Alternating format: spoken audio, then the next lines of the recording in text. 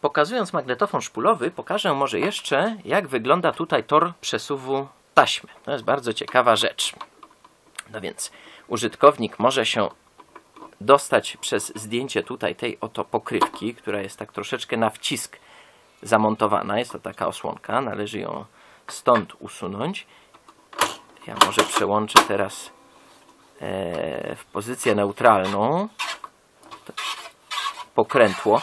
Tutaj przełączanie trybu odtwarzania odbywa się w sposób mechaniczny, to znaczy y, tutaj wszelkie te czynności związane z obrotem taśmy y, mają, mają charakter czysto mechaniczny, a nie elektroniczny. W momencie uruchomienia zasilania za pomocą tegoż tu oto przycisku na trwałe włącza się silnik, który się obraca i jak widać pewne elementy trwale się obracają. Tutaj yy, przełączanie trybu pracy odbywa się za pomocą tegoż oto pokrętła i jak widać, niezależnie od tego, w jakiej pozycji się to pokrętło ustawi, ten silnik zawsze jest włączony i zawsze tam pracuje i obroty tego silnika są przekazywane za pomocą yy, przekładni paskowej bądź za pomocą specjalnych gumowych yy, takich wałków, no, które niestety się zużywają i to decyduje tak naprawdę o trwałości takiego urządzenia, ale również o jakości yy, dźwięku. Ta szpulka zdawcza, ona jest na trwałe luźna, przy czym kiedy mówię luźna, to nie znaczy, że ona jest tak zupełnie luźna, że jak ją się pokręci, to ona będzie się zupełnie luźno obracać. Tak nie jest. Ona musi obracać się z pewnym oporem i to jest ważne. Chodzi o to, żeby podczas yy, rozwijania tej taśmy ona jakiś minimalny opór stawiała, żeby tej taśmy za dużo się nie rozwinęło. Taśmę zakłada się w ten sposób, że tak jak ona jest nawinięta na szpulce, trzeba pilnować, żeby jej odwrotnie nie założyć. Przekłada się tutaj przez tor przesuwu taśmy, który składa się tak, z pierwszego punktu, z takiego metalowego. Yy, tej części nie powinno się zdejmować. O, ją można, oczywiście można odkręcić te dwie śruby i ją zdjąć.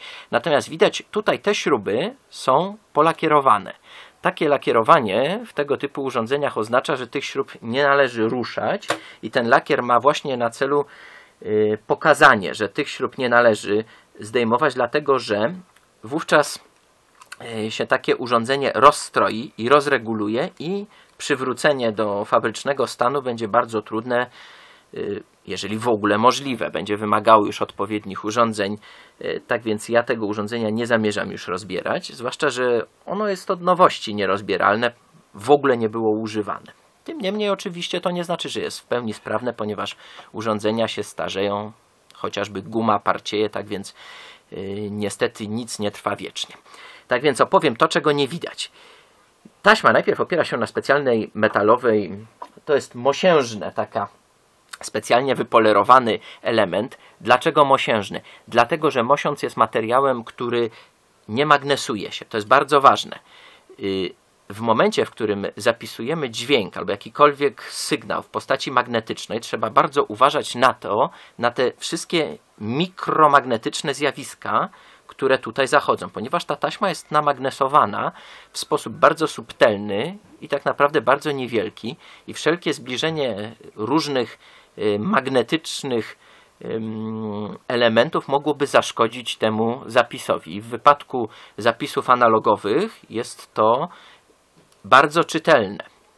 Tak więc Yy, oczywiście człowiek sobie teraz z tego w ogóle nie zdaje sprawy, ale na przykład położenie takiej taśmy na kolumnie głośnikowej może spowodować automatyczne skasowanie takiego, yy, takiego zapisu. Może tak być, że po prostu się położy yy, taką taśmę w pobliżu silnego pola elektromagnetycznego i okaże się, że wszystko, co było na tej taśmie nagrane, nagle już tego nie ma. To znaczy najczęściej niemożliwe jest skasowanie tego tak, żeby tego w ogóle nie było słychać, no ale jest możliwe, że po prostu yy, skasuje się na przykład fragment i, i to się wydaje, że to jest yy, że, że takie coś może się, że, że to trudno coś takiego. No więc wcale nie. Okazuje się, że mnóstwo przedmiotów, y, które jest w domu, taki magnes zawiera i można nawet nie zauważyć, kiedy się za bardzo taką taśmę do czegoś namagnesowanego zbliży. Tak więc ta taśma opiera się na dwóch takich mosiężnych prowadnicach i to, żeby ona przesuwała się ze stałą prędkością liniową, to jest bardzo ważne, bo mm, proszę zwrócić uwagę, że yy, te szpule zdawcza i odbiorcza, one nie kręcą się ze stałą prędkością kątową, na przykład, nie wiem, jednego obrotu na, na sekundę, czy coś około tego. Nie, nie, nie. Ta prędkość yy, się zwiększa i zmniejsza w trakcie jak ta taśma jest przewijana z jednej szpuli na drugą, natomiast ta taśma musi się równomiernie przesuwać w tym miejscu. W tym miejscu mamy ta taśma przesuwa się, najpierw przejeżdża obok głowicy kasującej, która w momencie odtwarzania jest po prostu odłączona, nic tam do niej nie ma. Następnie głowica uniwersalna, która jest jednocześnie nagrywająca i odtwarzająca i Następnym takim punktem, tutaj sygnalizowanym przez takie coś, jest gumowe kółko z jednej strony, które tą taśmę dociska do takiego ruchu obrotowego trzpienia, który jest zamontowany na kole zamachowym i powinien się równomiernie obracać i właśnie od precyzji obrotów tegoż oto elementu zależy równomierny przesuw taśmy. No i na koniec mamy znowu mosiężną prowadnicę i taśma jest zwijana przez szpulkę odbiorczą. I warto zwrócić uwagę, że ta szpulka jest, y, ten mechanizm dosyć y, specyficznie jest zrobiony, mianowicie ona kręci się dużo szybciej niż powinna, natomiast o, rozpędziłem tą szpulkę i ona jeszcze przez chwilę tu parę obrotów wykonała. Y, rozpędził się obrotowo mechanizm tegoż magnetofonu, jest teraz włączony zresztą. I Natomiast ta szpulka nie jest na sztywno przyczepiona do tego mechanizmu, tak więc widać, ja obracam tym elementem i ten opór, yy, to znaczy gdyby magnetofon włączyć, może usunę tą taśmę, o, to widać, że ta szpulka kręci się dosyć szybko, natomiast jak ją przytrzymam, to bez żadnej szkody dla mechanizmu można tą szpulkę wstrzymać. Dlaczego tak się dzieje? Dlatego, że ta szpulka, prędkość yy, obrotu tej szpulki jest dostosowana do prędkości, z jaką ta taśma napływa i ona musi tą taśmę dosyć mocno ciągnąć, dlatego żeby tutaj nie powstawały luzy i jednocześnie musi tą taśmę dosyć ściśle na tą szpulę nacisnąć, y, nawinąć. Gdyby, to, gdyby tu była mniejsza moc, no to oczywiście e, ta taśma byłaby luźniej nawinięta i mogłoby się tak zdarzyć, że nie zmieściłaby się na szpuli.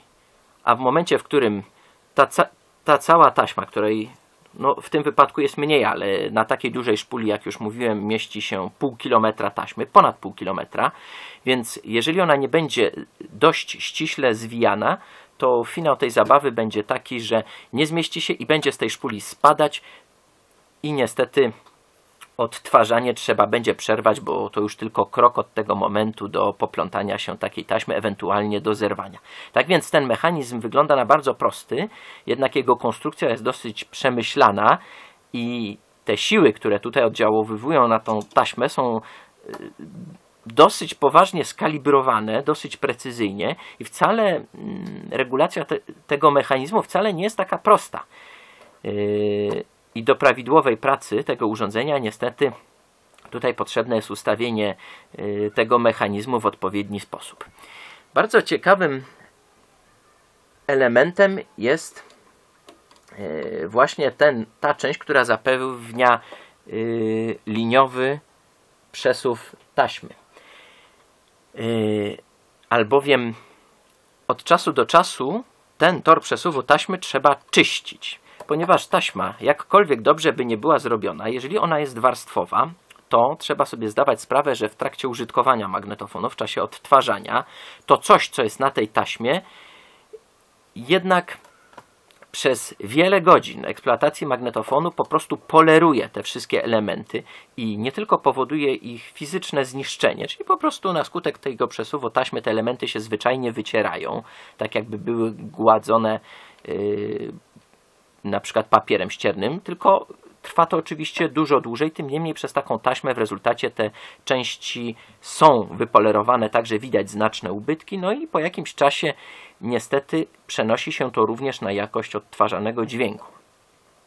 Bardzo ważne jest również ustawienie tych elementów względem przesuwanej taśmy, to znaczy głowicy kasującej oraz, to jest w ogóle krytyczny parametr, ustawienie głowicy uniwersalnej, odtwarzającej, nagrywającej. Jest ona tutaj ustawiana względem taśmy za pomocą tych oto śrub, które jak widać tutaj są polakierowane yy, i nie należy tymi śrubami specjalnie kręcić. Przy czym w wypadku na przykład magnetofonów kasetowych, tutaj taka ciekawostka, które będę omawiał w jednych z przyszłych filmikach, okazuje się, że bardzo dobrze jest mieć pod ręką zegar mistrzowski e, e, wkrętak i jednak ustawienie tej głowicy e, skorygować dla osiągnięcia lepszej jakości dźwięku, ponieważ jak się okazuje jednak każda taśma jest nagrana na minimalnie inaczej, nie wiem od czego to zależy. I okazuje się, że ten dźwięk jest zniekształcony. Jeżeli taśma y, przesuwa się nieprawidłowo po głowicy w magnetofonie, to następuje najczęściej obcięcie wysokich tonów i ten dźwięk brzmi po prostu nieprzyjemnie. I wystarczy wówczas za pomocą takiego yy, wkrętaka delikatnie skorygować położenie głowicy za pomocą takiej śruby i uzyskuje się ładne, pełne brzmienie dźwięku, oczywiście do następnej zmiany taśmy. Tym niemniej w tym wypadku już mm, tutaj sobie wszelkie kręcenie w magnetofonie odpuściłem.